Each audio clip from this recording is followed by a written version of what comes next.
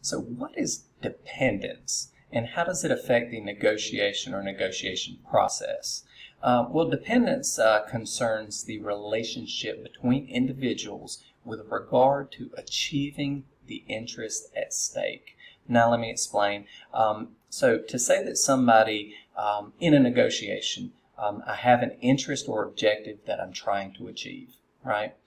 If my ability to achieve my interest or objective um, does not depend heavily upon the other person, that is, I can, without their assistance, without them undertaking any action or activity, if I can achieve my objectives, I'm independent in the negotiation. That is, I'm negotiating independently. I know that even without them, I can still achieve my objectives. Okay? Uh, and that will lead, lead to a particular type of orientation or make a particular type of orientation going into the objective more effective. And for more on orientation or disposition, please see that video. Um, if a negotiation is dependent, it means that, um, or at least for one individual is dependent, uh, that individual requires some level of activity or condition or furtherance or context from the other side for them to achieve their objectives. That is, without the other person, they cannot achieve their interest or objective that they seek to further by entering into the negotiation process.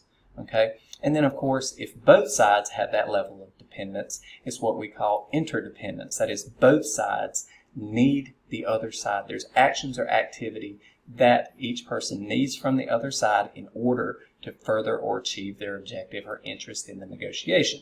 Now, an interdependent negotiation is where you're going to see a more compromising orientation uh, by the parties, that is, their willingness uh, to forego something on their behalf in order to um, to get the other party to undertake the action or create the condition that they need to achieve or further their interest. Okay, uh, dependent negotiations that are one-sided often result in one party uh, taking advantage of the other side because if that other party does not need the dependent party the same way the dependent party needs the other side, once again, this person has more leverage or power in the negotiation. And then, of course, to independent uh, negotiations, uh, that is once again where um, there's less need by either party to um, create a condition or have actions by the other party. So once again, in that scenario, it is more likely uh, that the negotiation fails if the parties do not have some form of collaborative attitude.